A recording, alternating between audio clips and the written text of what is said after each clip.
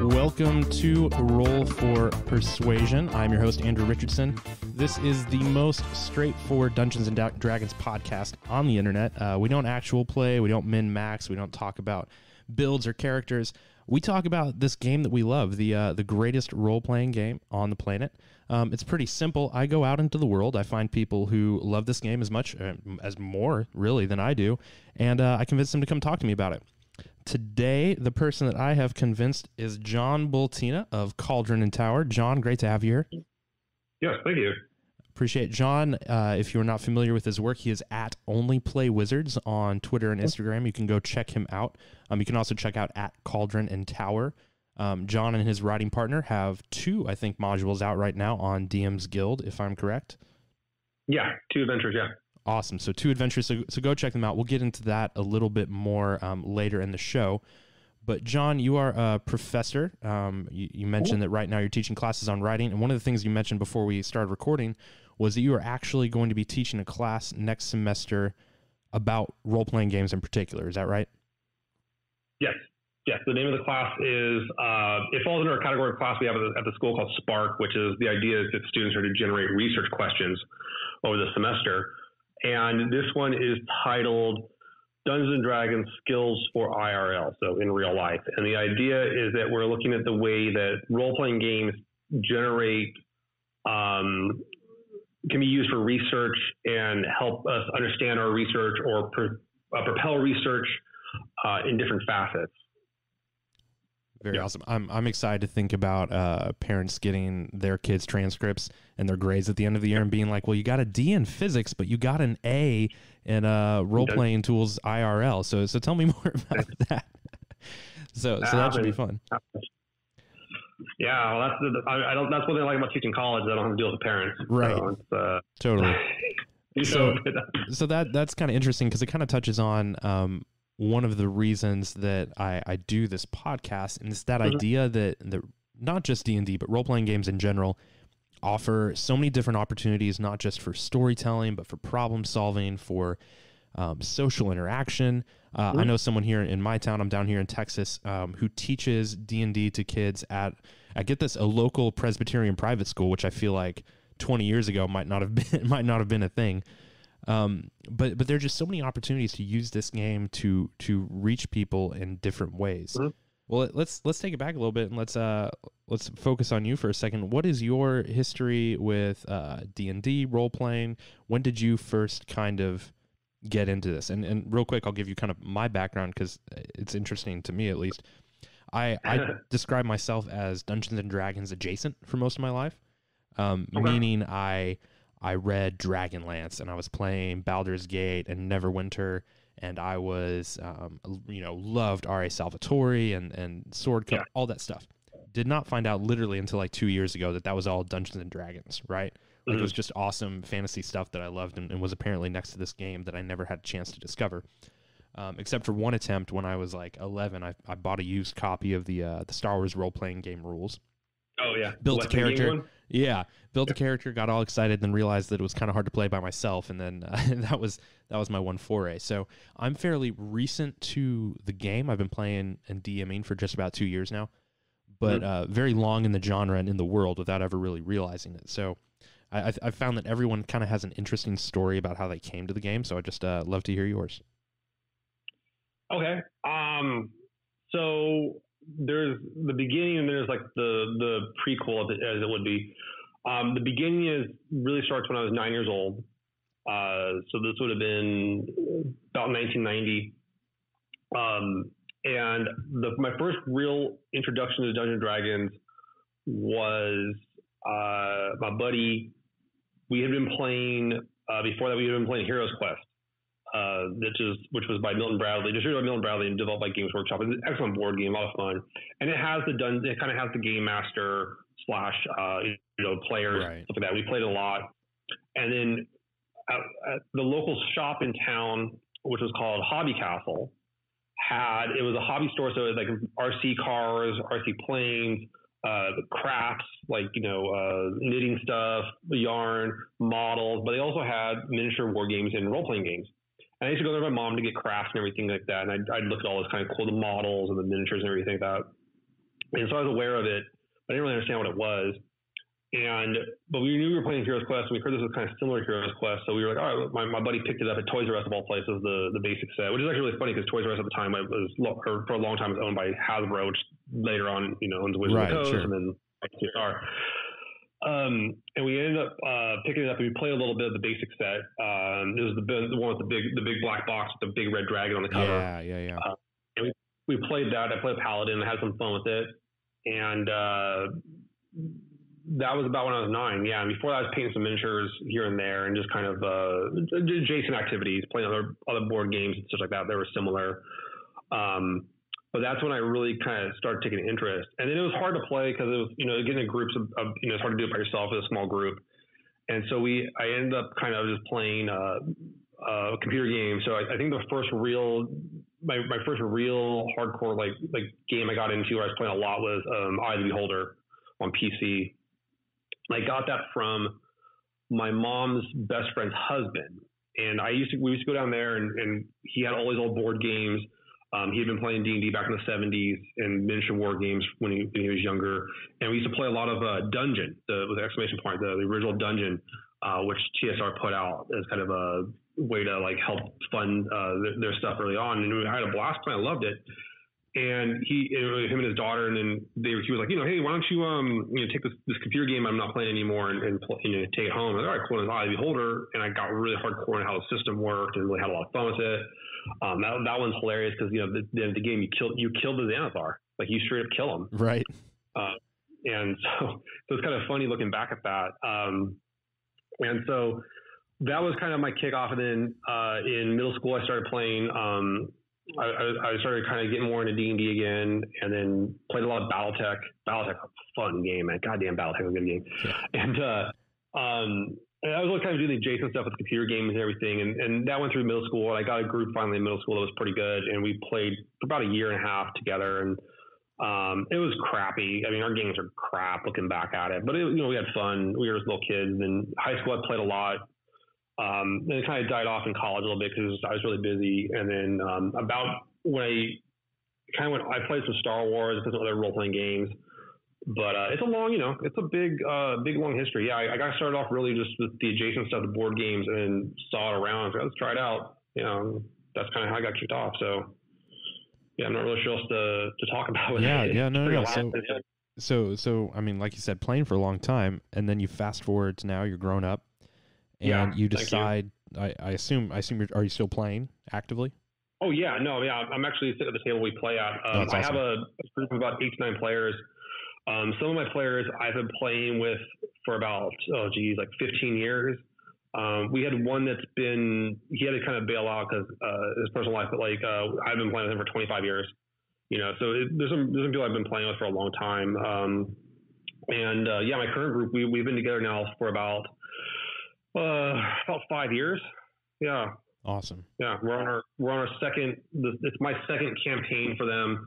Uh, it's a sequel to my first campaign, and then we usually do summer. We do alternate campaigns because um, the people are more available. So I'm, I'm currently DMing, um, but we played Ravenloft for two summers, and last summer my one friend wanted to DM, and she tried it out, and we played the dungeon in the box stuff, and it was fun. It was it was a cool low, low level game and just a blast. It was nice. I got to play and um, Ravenloft was a lot of fun. I dominated Ravenloft. Like I'm, I my when I play, like my my friends know that like it's going to be very, uh, very interesting. That's why I have to play Wizards because I only play Wizards because right. Uh, I play very smart. I play a smart character because I'm I have a hard time dumbing myself down.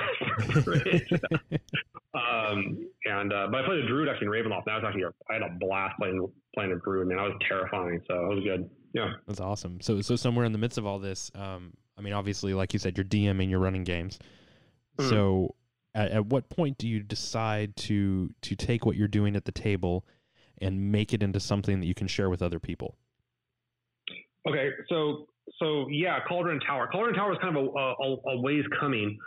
Um, I my one of my players and I, Jeremy, had actually built the stuff for DMs Guild very early on when it first opened up. We actually did two releases called Further Legions, which we had we had thought was going to be a series. And the premise, we have two of them called there's Hobgoblins and Bugbears, and it's really funny because the Hobgoblin one keeps selling, like it just keeps selling, and it's only fifty cents. And all it is is what we did was we saw the core fifth edition book, and we really felt that the variety of like common monsters like hobgoblins, bugbears, uh, were lacking. Yeah. And I had a, I have like I have tons and tons of miniatures, and there's tons and tons of these pre-painted miniatures that that have been uh, released over the years. And they used to come with like a little card for like stats for 3.5, and then for the miniature game. And I missed that. So what we did was we went through each. I took every single bugbear I had, got one of each miniature, and we wrote stats for each one of them. And that's what the Further Legions is. Um, and so we, we got through hobgoblins and bugbears, and we were going to do more, but like we just he ran out of time, and I, I didn't have time to do it. Um, but they're fun. Um, and I'm kind of doing it again a little bit. I actually have a piece coming out on the DMs Guild here. Uh, I was going to premiere it as part of their Halloween thing, which is kind of little hidden gems on the site. Mm-hmm.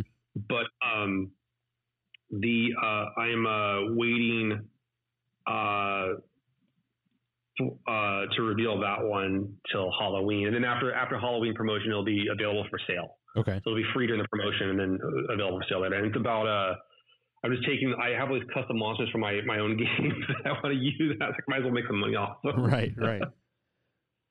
so, um, but yeah, what happened was I had been trying to do it, and I try to write my own stuff, and I'm just undisciplined. Like I'm, I'm as a writer, I'm really undisciplined in my own stuff. And I had my friend Amanda, um, who, like, like a lot of my so it, one of the one of the more quirky elements of my D and D playing and my relationships is that actually my D and D group, two of my players are ex girlfriends. Okay. And we play at my house. We play at my house with my wife, and one of their husbands plays with us and everyone's super cool. It's super great. We have, you know, it's just super above the board, everything. Sure. But actually, Amanda and I uh, had dated uh, a few times, and it just didn't happen. It was fine. We weren't mad at each other like that. We kept in touch, and so um, it, it's really it's really shocking at how far not being a dick can go. Like just not being a jerk right, can go. Right. It's shocking. Many people don't And so- realize just how far not being a dick can go. But give it a try Hey, man, sometimes, my- my guys. It's wife- worth it. my wife's ex my wife is an ex girlfriend, and she dumped me, and then she realized she messed up, so it's all good. uh, but but uh, but uh, and, you know, we, we laugh about it, but um, yeah, and I knew that Amanda was trying to write novels, and she was interested in writing, and I was like, you know what, hey, you know. Let's, let's bring her in, and I asked her, and she was like, "Let's go for it." And I was like, "All right." So I was, was going to LA for like a concert, and I asked her. I said, "You know, why don't we?" Uh, she lives in she lives a little bit far south from me, and I was like, "Why don't we, uh, you know, meet for lunch?" And I'll tell you what my idea is, and what, what I kind of do is this Cauldron Tower thing, or we didn't have a name for it at the time. And she was like, okay, cool. And she liked the idea. She was excited. And I was like, oh, I'm going to come back through on town in two, three days, something like that. And we'll meet and you just pitch me, pitch me your five ideas. Just pitch me five ideas and we'll go from there. And we came back and she pitched me an idea. And that's that.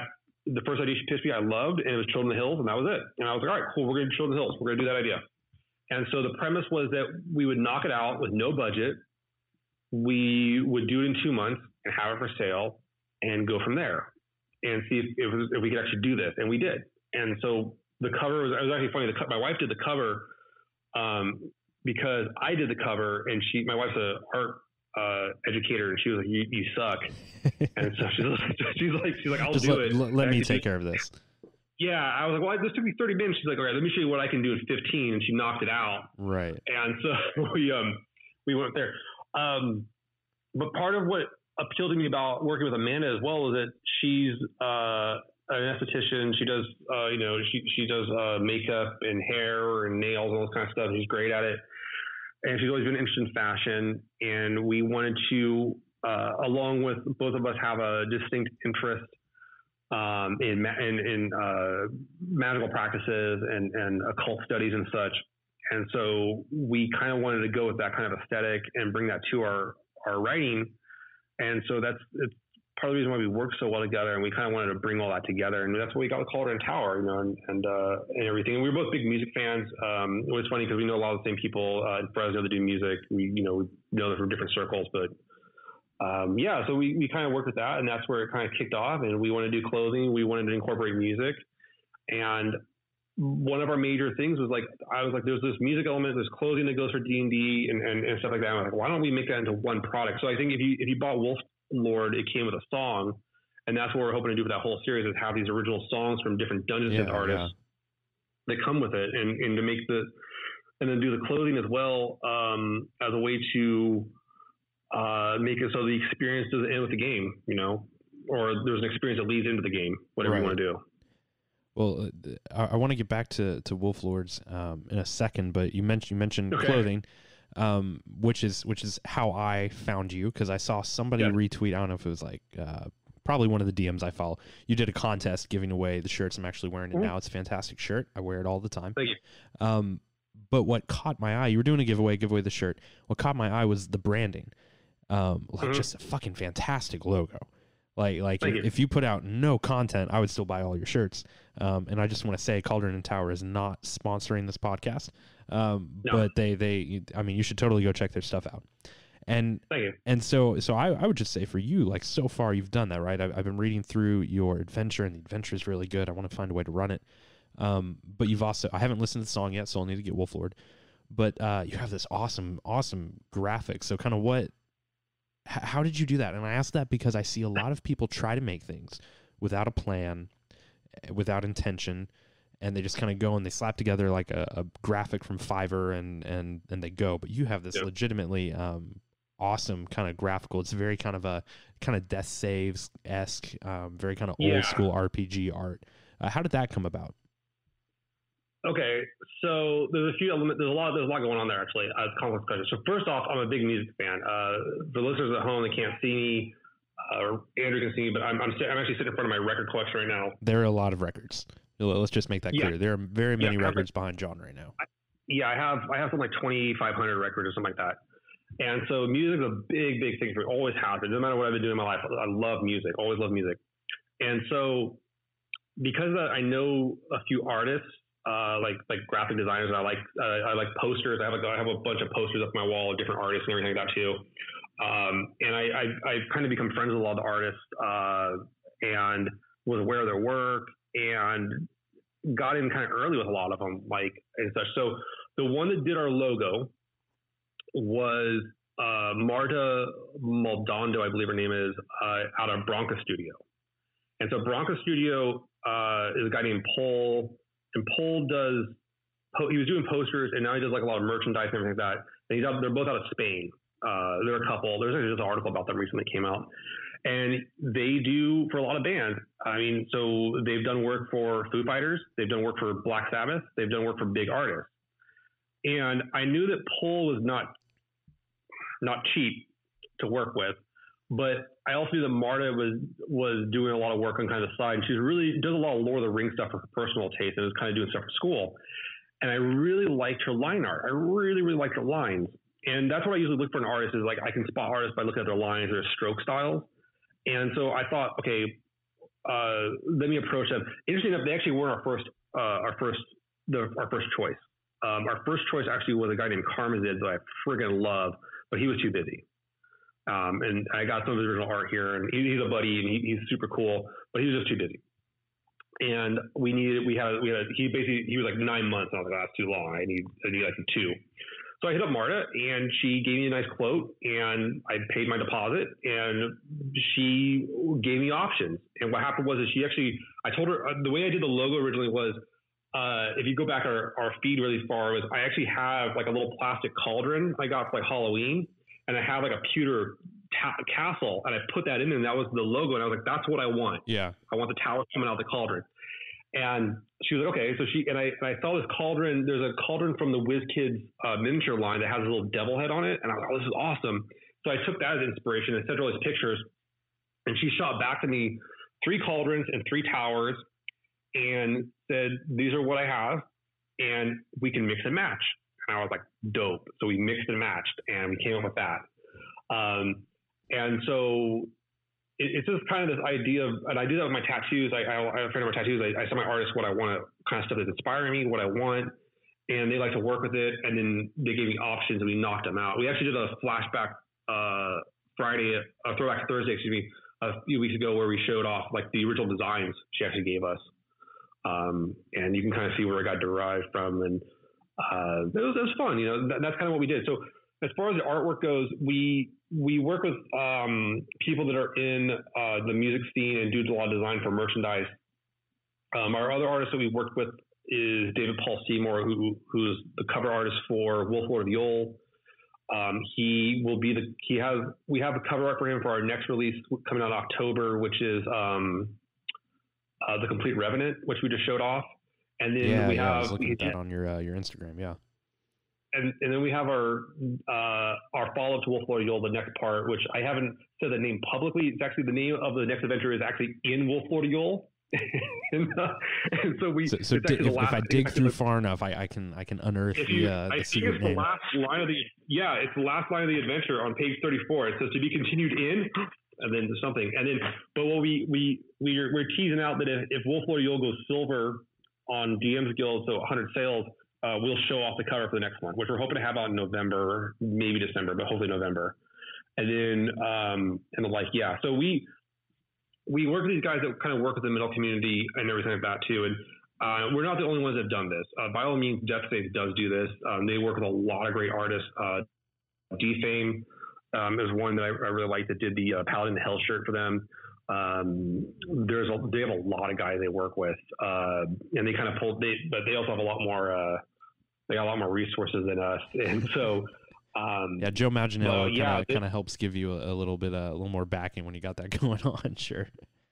It does. Yeah, I won't kid you. Um, because that was the thing. We did Troll the Hills on no budget, and then the idea was like, well, let's have a budget. And Wolf Lord Yule, we had a budget, and we, I, I, it, it, it, but part of my my my premise too with with uh, Cauldron Tower, in terms of doing the logo and, and the cover for Wolf Lord and what I choose, and what I want for art is, um, I was like, well, if I buy this art for just a cover, is that all I'm getting? Is that the only value I'm getting out of it? So, but then I'm like, well, if I have the license to it, I can also print clothing, I can print shirts, I can print buttons, I can make other merchandise. And so it's kind of, I won't get it, it's a money saving technique. It's Right, right. no shame. It's, it's economical use. Um, we have very few restrictions when we when we get our art. I know David David's pretty public about it, but he has um, the one restriction on his art is that it can't be used for any promotion or any kind of uh, association with beverages because he has an exclusive license with a, a, a beer company, Right. um, and that's not a problem. Which, but it does suck because actually I, I've kind of become buds with a guy from uh, Smuggler's Coffee, and, and he's been super cool. Um, and I can't work with him on certain things Because you can't use the art. because I don't want David to be like, "Hey, you can't use my art anymore, bud." And I'm like, "All right, you know." So Well, technically, um, if, if it's a if it's a dry bean, is it really a beverage? Legally, you might coffee, have a leg to stand on. coffee, that's, that's, it, yeah, I know David's pretty specific, so I Yeah. don't want to. I don't want to. I don't want to poke the bear, For but sure. no, um, I won't kid you. Yeah, Death Saves was a, a huge influence on us. Um, I actually got one of their first uh, Red Death Knight shirts, um, and and it, it was kind of a. I really liked what they were doing. They were bringing this kind of aesthetic, uh, combining it, um, bringing these kind of like like it felt like a like their styles are merging of nostalgia. It's taking different like like the artwork, like I, the Paladin Hell shirt's a good example. The Paladin Hell, I remember seeing the artwork as a kid, and I also remember when they did the re-release of it for second edition. I, I love that artwork and grew up with it. And then seeing this guy Defame who does who does uh, like this hardcore death metal art uh, was uh, it was really cool. You know, I, I, I like that kind of like updated version of it. Um, and I they they do a quality product. Like I mean, they they pick good shirt, they pick good clothing shirts. Um, uh, they they do pretty high quality print. They do really high quality prints, honestly. Um, we the one that and that was kind of a thing with us is that I like all that stuff and it's great, but what we wanted to do with ours was a lot of it was we wanted to do with uh, local. So actually, all my shirts are printed by my my barber's husband. um, she has a she has a barber shop downstairs uh, called uh, Strangers Shop, and then he has he runs his print shop upstairs from the barber shop, and so. Um, one of the ways we save money is we don't have our shirts shipped. Uh, right. You, you, hey, when you get a haircut, that's also t-shirt pickup yeah, I go get a haircut. Well, I, I don't go too often, but like I just go down there and it's Eli. I'm like, hey man, let me get my shirts, and um, and he specializes in discharge printing. So the shirt you're wearing is discharge printed, um, which means that it is the fabric is re-dyed. Right, won't right. It's, it's not like a. It's Uh, not like a. When when you touch it, it's not like a uh, like an iron on or that kind of like physical No. tacky. It's like in the actual cloth. No, yeah, usually it's like a plastic transferred to the material, it's kind of melted on the material, and this one is not. It's, there's a of fabric. The problem we do have some issues with it is like you're limited on colors. It only goes from you can only go from a dark color to a light color. Um, so like like our our uh, witch's milk shirt is actually uh, the I think it's the plastisol is what they call it or something like that. I can't called, but like it's not the we can't do discharge printing on that. So, but um, yeah, it, there's there's a lot of kind of uh, techniques I've, I've used to to work through this and such. But yeah, no, we we um we we wanted to do the apparel, but we also wanted to actually do have original music. So we've been working with Dungeon Synth artists um, I love Dungeon Synth. I play it during my games. I have a huge like, I think it's like 96 hour long playlist or something like that. I play during my games. So it's a, you know nothing repeats, and I I actively participate in the community and try to like listen to and buy stuff. And um, we actually do our, our follow Fridays where I'm saying, hey, here's some artists on Bandcamp. They're like, you know, they're indie artists. They're they're small, and check them out. You know, go out and buy their stuff. They support them. And the artists always respond really well. They love that people are actually you know taking their music and using it in their game and everything. And, and that, that's a big history of it too. Uh, you know, there's a, there's a, big history of the overlap of music and D and D, right? Um, art. I mean, uh, you know, uh, uh, uh, you know, one of the more, one of the most controversial artists in the black metal community, uh, Burzum, you know, and, and, and Varg's, a, you know, he's kind of a piece of, piece of he's a piece of shit of a human being, but one of his albums, he straight up traced the original cover for Elemental Evil and made it his cover. You know, That's awesome. He he stole he, he just straight up stole it from D and D. That's awesome. Yeah, but I mean, so did but you know to be fair, the early TSR stuff they traced over like Jim Steranko art and everything like that too. So it's like you know, there's, right, there's, a, big, right. there's a big history of of this kind of of this kind of being influenced by different things around us. Um, and and if if, and, if you're listening and, and, you're someone like me who uh, is is fairly new to to D and D, I, I didn't start until Five E came out.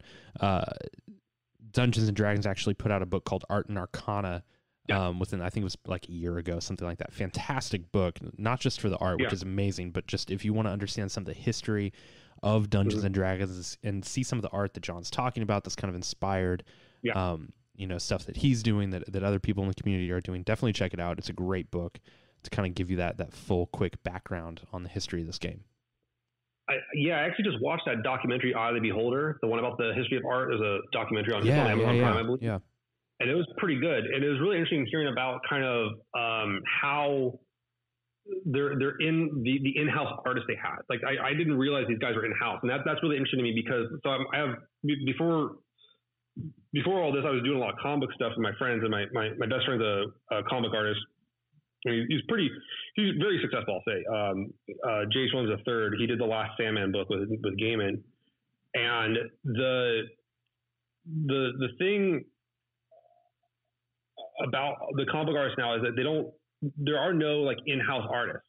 Uh, Marvel used to have a studio in New York where the artists would all come in and work, and then you know they sure, would they would sure. work at the the desk and everything. But now everyone's kind of there's no one really has a studio. There's very few of them. I think there's like one or two in the states now, and so I, I had no idea that like TSR had a studio had like these guys like Easley, um, Elmore, etc. in house in the building working on this stuff that much. I thought they were kind of doing it from home and then just sending it in, but apparently, I mean, I had no clue. So that's pretty mind-boggling to bring that much talent. Right, that yeah. And a lot of these movies really, really showed that. Like, really showed like how it all kind of worked and how it all kind of developed and um, how like Gygax like got these guys to come work for him and he's just offering them tons of money. That's what they did. They threw money at him. Right. And I don't think I was like, oh yeah. Right. And, and a lot of them gig. started out kind of as as fans, or right, who were writing into the the magazine or whatever, um, you know, submitting stuff as stringers. I, I think that's how Chris Perkins got involved, if I remember an interview he did. Yeah. Yeah, and, and then eventually they were like, hey, why don't you come over here and work? And you know, it clearly worked out for him. So. Oh yeah, the, the, a lot of people start low key and, and, and build their way up into it. Yeah. So, but um, yeah, no, it's, it's good stuff. Uh, the, the community's grown a lot. Uh, and it's, it's I, I really so where it is right now, where D and D is right now to me, um, in terms of kind of the popularity, uh, the streaming, and this this kind of I, growing up with it, I never saw the celebrity culture there is with it right now. Sure, sure. Um, where there's like celebrities in, in the community, and I I never really put together celebrities playing. But I had heard about like Robin Williams playing, and I heard about like Vin Diesel playing, and all that kind of stuff, but didn't really see anything like that. And so my the the current thing with like the success of Critical Role and everything, I really I, ha- I can trace it back. I, I have a single I have a I have a I've been kind of pronounced about this and as a single moment when that when that when I believe that could take off, and I trace it back to 2010, and uh, I was privileged to be there. I think is the best way I can put it. So back in 2010, I was at, I was living in Los Angeles. I was going to UCLA, and I had known that there was a D&D meetup group at Meltdown Comics, and I knew Satine Phoenix led it. Um, and I was a little surprised to hear that Satine was leading because I, I, I knew of her, but I, I didn't I didn't associate like her with D and D at the time at all. I didn't associate anybody with D and D at the time, to be honest. And so I was like, I was gonna check it out, and I went down there and hung out and found that she was doing this um, the, the, the precursor or whatever it is of, of the chair D20 stream that she kind of does now. Yeah. And they're gonna have celebrities in. And I was like, all right, well, you know, she's like, you need production assistance, and I was like, I'll do it. You know, I'll, I'll get people drinks and whatever. You know, I got nothing better to do. It'll be fun. And I remember uh, Pat Kilbane was there. Uh, I, I, knew him from Mad TV. Um, uh, there was a few other people there. Uh, what's his name? Um, uh, Keith Baker was there. Um, but I always, but the one thing that sticks out to me about the whole thing was this. So I'm, I'm working, I'm getting people drinks, whatever, and I'm working with the other PA. We're we're getting you know people's orders together, whatever they want. And uh, he's like, he's like, he's like, dude, you got to go out there and like go to table three and like watch the game. And I was like, okay, what do you mean? He's like summing it up. He's like, dude, the DM, like he's like, the, the DM's like insanely good. He's like, I've never seen anything like it. You got to watch it. Like, what do you mean? You got to see this guy DM? He's like, you got to see this guy DM. Like, it's, it's crazy. So I'm like, all right. I'm like, what do you mean? I've been playing D&D for 20 years. I, I got to see someone DM. Right. On, right. Whatever. Like, what the hell do you mean? So I go out there. I'm giving him drinks. I'm watching the game. And his DM is like, I mean, the guy, this guy's immersive. Like, he he he's describing stuff well. He's moving. He he does voices, everything. And I'm sitting there like, holy shit! Like this, this is something. This, this is this is something. That was Matt Mercer. Right. And, uh, Crazy. Uh, you know, I don't know. I didn't know who Matt Mercer was. You yeah. Know, I, I, he's this voice actor, dude. You guys see him DM. You guys see him. You guys see him DM. But now everybody sees him DM. Right. And so, you know, like, like it, it, and I, and I saw that, and I was like, I had never seen that much. I, I mean, I, I played D and D with a lot of like all the theater kids back in high school, and I had seen performances in a sense, but like I had never really seen it done to that extent. And I and I knew something was up. I knew this was going to get bigger, and I and and I really I blame Satine because uh, she's the one that brought everyone together and and really got us kind of rolled off and everything. And and you know, so it's it's really um that was a really magic time, really magic moment. Uh, and you know, you come four or five years later, and, and critical role drops, and then now it's it's unreal. And uh, but yeah, I just I knew something could happen. I, I knew there was something going to happen, but I wasn't sure what it would look like. But now seeing it, it's like holy hell, like it's, it's unreal to me, you know. So yeah, it was really cool. It was a really cool moment in time. Um, yeah, I mean, say about it. As, yeah. as, someone who has who has benefited from you know the the, the popularity that D and D has mm. has achieved because it, it, was something I always wanted to do and never really got a chance. And and uh, my wife and, another group of our friends very into games. We were playing a game called uh, Time Stories, um, which is a tabletop. It's a board game, and it was it was more of like a choose your own adventure style game. So there mm-hmm. were RPG elements, there was dice rolling, there was decisions that impacted how you played. And at some point, my wife was like, "Well, why don't we try Dungeons and Dragons?" And I was like, "We can't find people who want to play Dungeons and Dragons." but then one day I, I, was like, yeah, I'll YouTube uh, how to play Dungeons and Dragons, and a random episode of Critical Role, this thing I'd never heard of before, popped up, and I watched it, and, and like I was hooked. I was like, oh, you mean yeah. I can do this, and it's a game, like I can do this with other people. Let, us make it happen. So, so I, I've certainly benefited um, from oh, yeah. that kind of exposure. That, that I, I probably, I probably would have tried it eventually, but, mm-hmm. but it's made it accessible, you know, to people who who would you would have never imagined. There, there's a feud on Twitter right now. Some professional wrestler. Um, yeah, do you see? I, I, don't remember his name. Uh, just a total character move, making fun of D and D because the yeah. guy he's wrestling is a big critical role in D and D player, and it's crazy, right? Like it's crazy that that it has achieved that level of, you know, forget yeah. like Stranger Things. Like it's it's in Twitter and wrestling. Like it, it's a whole thing. It's it's a snowball that's not slowing down. It's it's awesome. It is. It, it's a it's a really big difference. Um, so I, I I don't I talk about it every once in a while, but um, it, yeah, it wasn't. We talk about the kind of the dark times of it, and where you couldn't really be open about it, and that that was very much my experience uh, when I was younger. And there was people who kind of saw through it. My mom saw through it. My dad did not. My I there's at least two occasions in my life where my dad threatened to burn my books. Um, and Wow. For stuff that was completely unrelated. Yeah. I mean, unrelated. You know, uh, got in trouble at school, whatever, and he's like, "Oh, clearly this is what's doing it." I'm like, "No, it's you know, you ever think that like your kid, your kids got depression or something like that, and now you're gonna take the take away the thing that makes them happy." You know, um, and so there's always been this kind of lack of understanding of what it is, and I I, I kind of get that.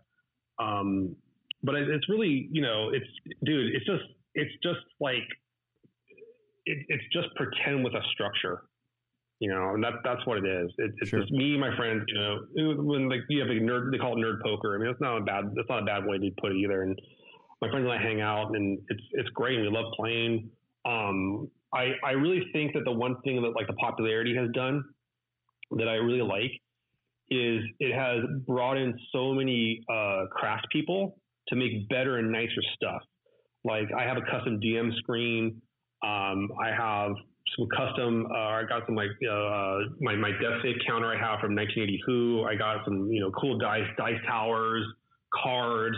Sure, I love yeah, that yeah. the standards out there, and I love those people that are fans. They don't. There, there's there's a there's this is one thing with Cauldron Tower that I made a distinction in that that my blog post you you read where I said there you can be a fan of and I fully believe this you can be a fan of D and D and not play Totally. You can be a fan of Critical totally. Role and not play completely. You can be a fan of D&D and make screens and you can make terrain and paint miniatures and all that stuff and not play. Okay. Now, the the trick with with Cauldron and Tower we wanted to is that we wanted to make the fandom and the hobby overlap. Right.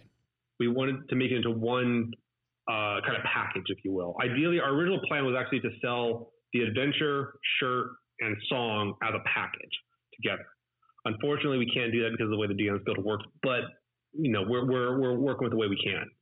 Um, uh, and I have you know I have my my kinds. I like that idea of like the the fandom. Uh, I love that fandom, man. It feels good. It, it, feels nice that people like they just appreciate what I do or that my hobby. They have a knowledge of what my hobby is, as opposed to you know, which is great. Even just having that just goes so much farther and everything. Yeah. Yeah, I mean, I, have I've been able. I got to go to the. Uh, you know, speaking of Critical Role, I got to go to the live show they did in L.A. Uh, at mm-hmm. the beginning of this year, and and you know, D and D. My fandom has been very constrained to myself, my wife, and the couple of people in our group, mm-hmm. and so it was kind of my first time. Um, they had an art show opening too, so I went to this art show, and it was just it, it was an oh, yeah, amazing yeah. experience of of of like you said, like people who had this common bond, this common ground, and they were expressing in different ways. They were cosplayers, they were musicians, they were painting minis, yeah. they were actors, like like whatever. But this you know this game allowed them a way to express their particular passions and creativity, um, in something that spoke to everyone in the room. And, and everyone could connect over that one thing. It just kind of it kind of blew my mind, and that's when I was like, okay, I think I need to I need to talk to people like this and, and hear what it is that makes them tick um, and and so it was a great moment for me. But but it's just it's an amazing thing to see and be a part of and, and get to experience because it's just a whole. It crosses all boundaries. You know, it, it doesn't yeah. matter your background, your race, your gender, what you're into. Like like it, it is a thing that truly unites people in, in a way that I haven't really yeah. seen before. Yeah, it's it, it's I like I like that there's a lot of different entry points of the fandom. I think sure, you sure. you can come in through any way. There's not like one way to do it or not. Um, and I, I, think that's actually one of the real keys nowadays of uh, generating any kind of like product is to have multiple entry points of fandom. Um, I, I, don't think you can you can say well here's the movie then you have to go get the other stuff after that. It has to be like well you can get the other stuff then you can get in the movie. I think that's I think that's one thing with like the Marvel movies is brilliant. You can go into the comic books, go into the movie, or you can go into the movie then go into the comic books. You know you can there's all these different entry points you can start from, um, and it just makes it more accessible. Yeah. know? Yeah, absolutely. So uh, we'll wrap up here in a minute, but but one question that I have for you: um, What about so so you DM and, and now you write these adventures? what is different, if anything, in in the experience of prepping for a game session versus writing out uh, an adventure module? Um, you know, with some of the technical aspects of helping like guide other DMs through the game. Like, like what what are kind of, kind of the differences that you run into there versus just prepping for your table? It's huge. Well, one, I actually I don't do a lot of prep for my my, my home games. Actually, um, a lot of it is very ad libbed, um, and I kind of link uh, scenes together that I kind of want to have happen. But I'm also very aware of my players and where they're going to go and what their kind of ideas are, and I try to say yes to them a lot. Um, writing the adventure, I have to be more conscientious that I have a lot more. I have to kind of like constrain it a lot more. Uh, my my home games are also a lot more um, adult in a sense. I don't say like not like pornographic or anything like that, but like more like they're the themes are very uh, get a lot darker. Um, I, I I don't know if my players have picked up on it, but my, my major theme is like uh, legacy and children. Has been a theme throughout my campaign, and kind okay. of like the, the there's kind of a price to, to, to legacy and, and children. Um, and it's it's it's interesting to kind of like to play that out. Um, I, I like my home games more than what I'm publishing. And the reason why is because uh, it it is a intimate shared experience over an extended period of time. It is ours. It is only ours. No one else can buy it. No right. one else can have it.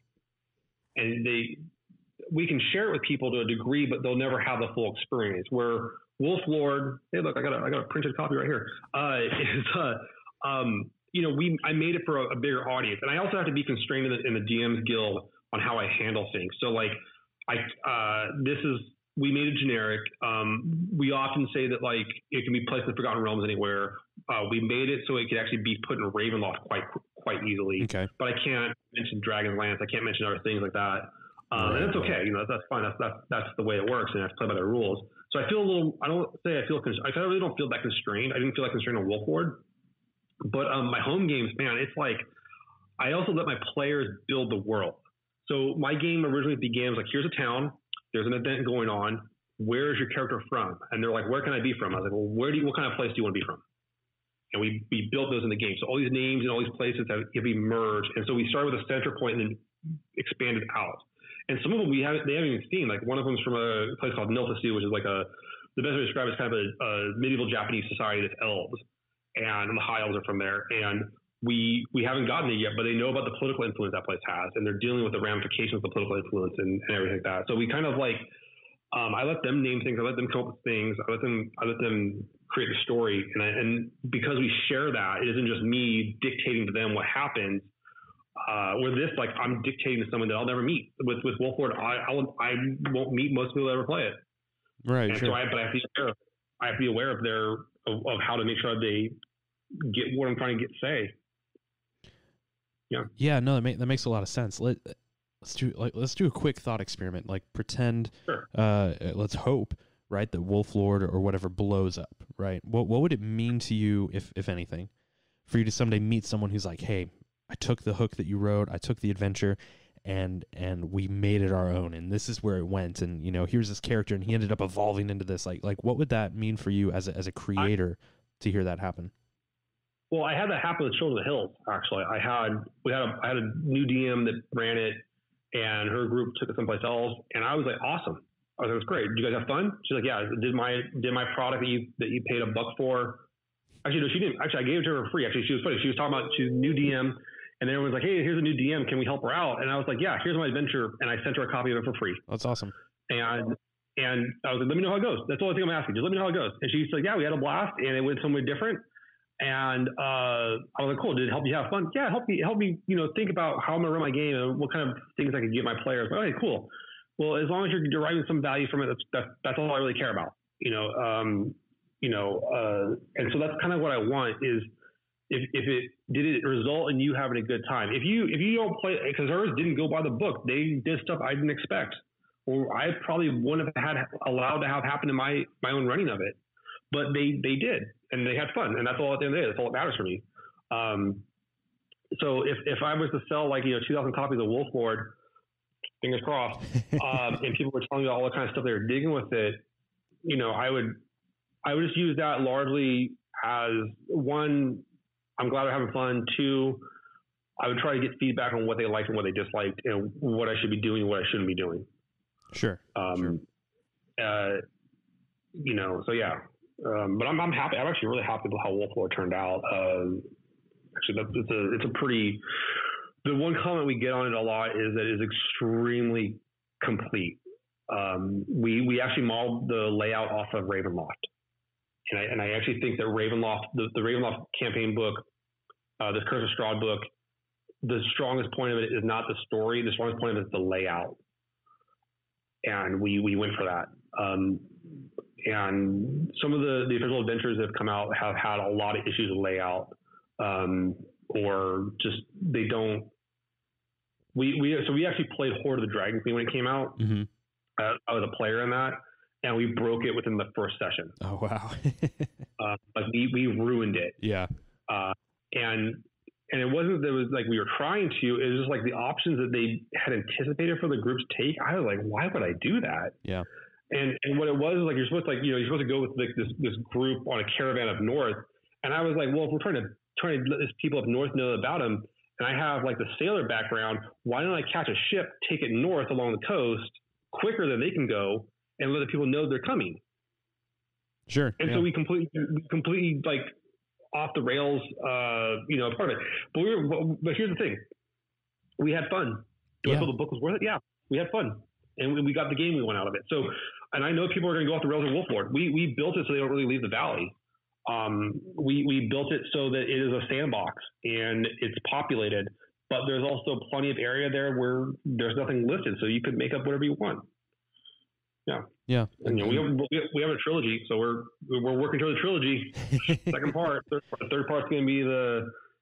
Uh, we're, our our game is kind of like you know we're not doing the whole like Star Wars thing where you have like New Hope, Empire Strikes Back, it's a dark movie, and then you have Return of the Jedi, which is a lot of fun. Ours is more like uh, New Hope, Empire Strikes Back, then Empire Strikes Back times two. like right. we go from like double double down I'm, I'm, on the dark.